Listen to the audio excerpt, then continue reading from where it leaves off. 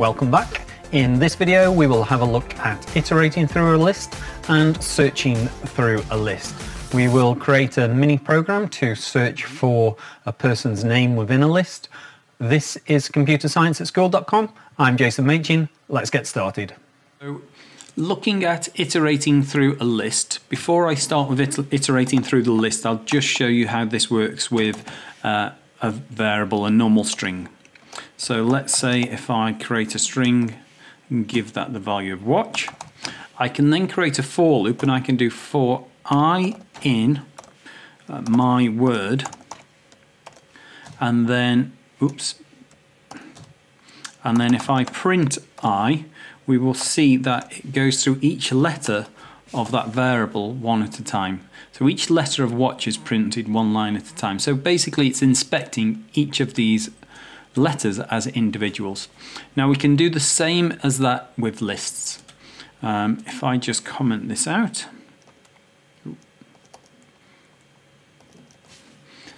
so this time I can use um, my list, uh, sorry, I can use uh, for i in my list and then I can print i.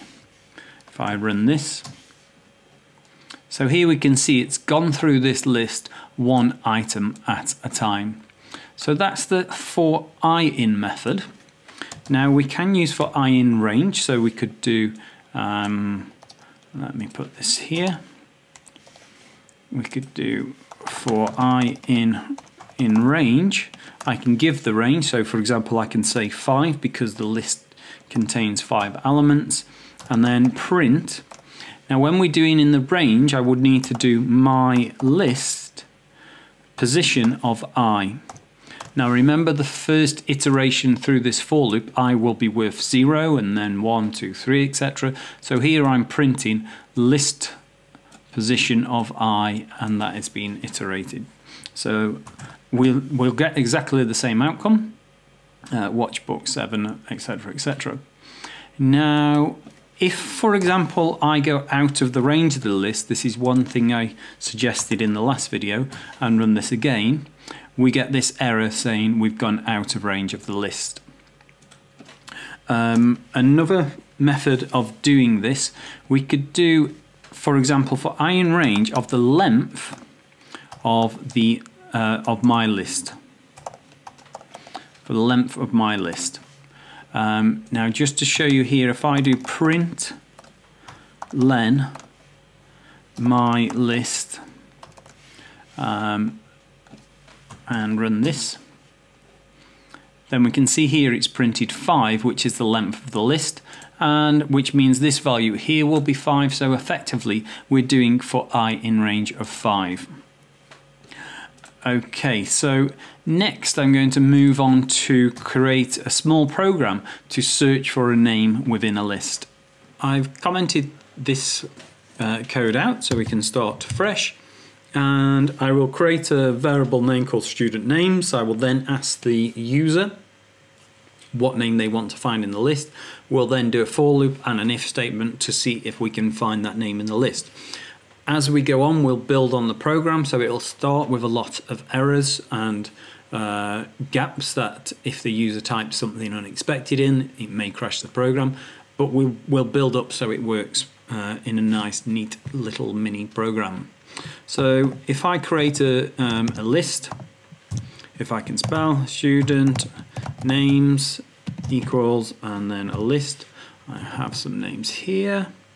Okay, so we have six elements in this list and then another variable to ask the user what name they want to search for. So I can call this anything I want. I'll call it search, then input, um, please enter the name you want to look for. Again, any appropriate message there for the user. Then I want to iterate through each index within this list to see if this input can be found. So I can use any of the methods I showed you before, but I'm going to use the for i in range of the length of student names. student names, close two brackets because I opened two bra brackets. And then what I want to say is if uh, the search is equal to uh, student names position of i, so if search, which is the uh, item the user typed in, is equal to um, student names position i and I'll put this in brackets. Um, then what do I want to do? Let's print print. Um, yes, that name is in the in the list. I'm struggling to type today. Let's spell these correct in the list and yes. Okay. And then for now, let's just do an else. So else um, print um, that name is not in the list. Okay. Let's see if this works so far. What name are you looking for? We're looking for Dave. No, that is not in the list. No, that is not in the list. No, that is not in the list. Okay, so this is good. So the first one, we can see it said, yes, it's in the list. And then the reason why it printed again and again and again is because it's not stopped doing it. It said yes when it found it in the first position, but it then looked in the second position and then said, no, it's not in the list, the third, the fourth, etc.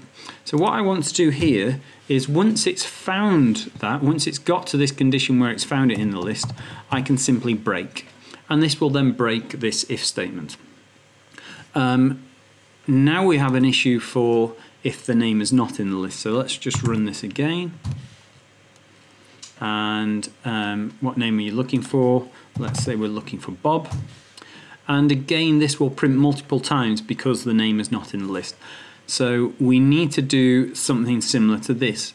However, we can't use the break statement here because if we break, it would break this sequence on the first iteration. So for example, I typed in Bob. Bob is not in the list, so it would go to this else and then it would break. So what we want to say is that if we are at the end of the list and we've not found the name, then we want to end it. So I can change this to an else if. So then I can say uh, else if i is equal to the length of the list. So len of student names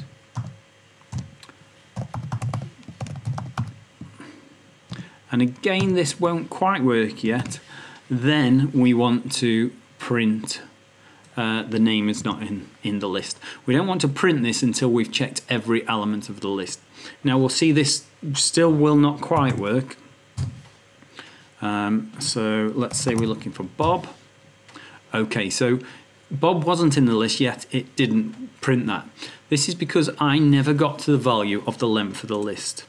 Um, let me, if I just put two print statements in here to show you what's happening.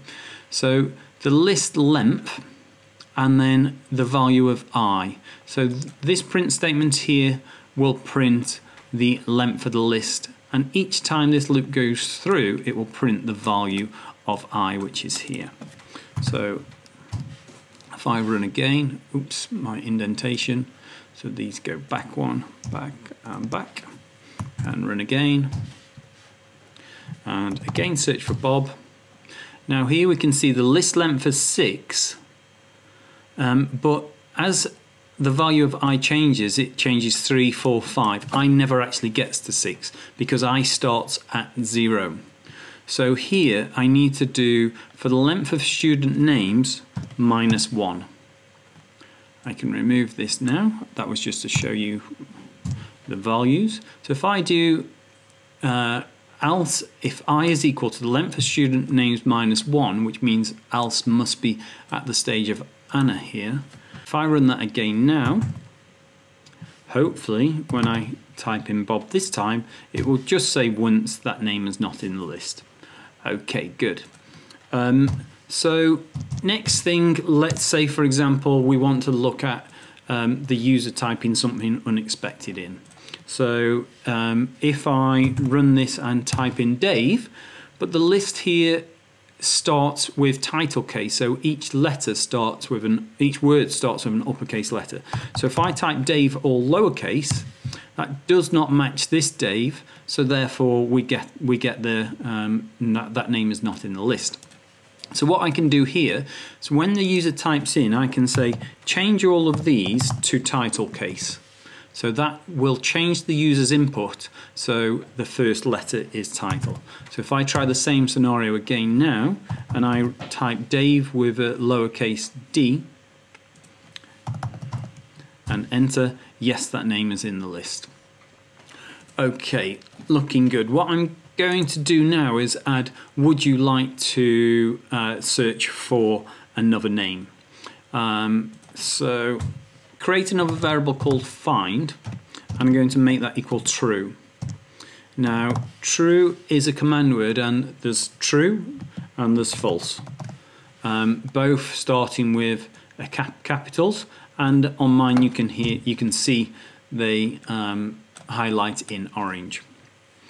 And I'm creating this so I can start my while loop. So I can say while find is equal to true then do this. And the reason why I'm doing this is I'm going to add an option for the user to search again or drop out of the program. Um, if they choose to search again, then I'll keep while at true. If they say no, they don't want to search again, I'll change while to false, which will drop us out of this loop. Okay, so this is now inside this while loop. So if I highlight all of this and then press tab, that indents the entire block of code together. Um, so is the name in the list? And the name's not in the list. After it's checked the names in the list, I want to ask the user if they want to if they want to search again. So I can call this search again, sensible variable name, and input. Um, would you like to search for another name? Question. Ooh, I'll give the user a prompt here to say yes or no. And then I can say if search again is equal to, um, I will do lowercase here and then I will change uh, the user's input to lowercase. So if um, search again is equal to yes, and I'm also going to add another option. Um, so let's say the user types in Y or they may type in yes. So or search again is equal to again lowercase yes. Missed the speech mark. Okay, so and then here I'm going to change this to all lowercase because here I am comparing to only lowercase values, if I change the user's input to all lowercase, then this should match.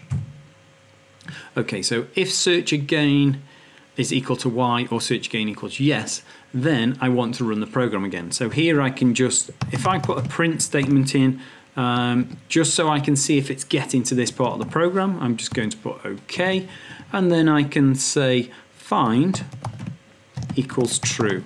Now, I actually, at this stage, don't actually need to put find equals true um, because it does equal true unless I say it equals false. However, just so I can see what's going on in, with the program in this stage, then I will put find equals true.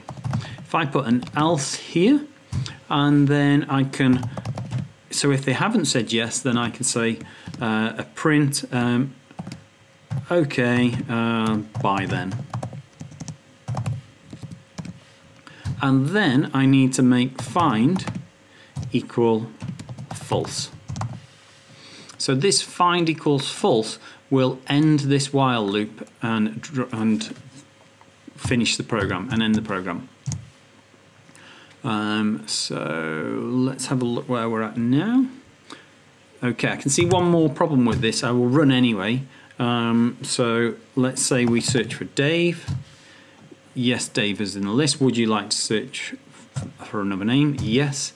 Um, now, the problem is, is that because I didn't put this statement, please enter the name inside that loop, it's not asking me to enter the name again.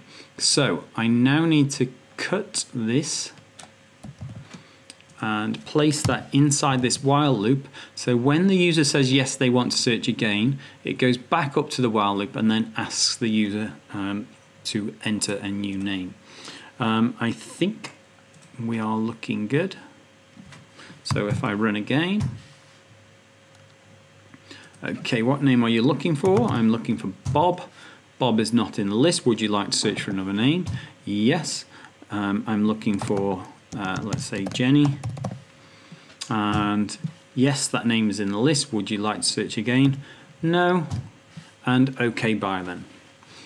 Okay, that concludes this video. In the next video, we'll look at some methods such as appending, adding to a list and deleting the list. And this code I will drop in computerscienceatschool.com. at If you have any comments or questions, then please feel free to ask.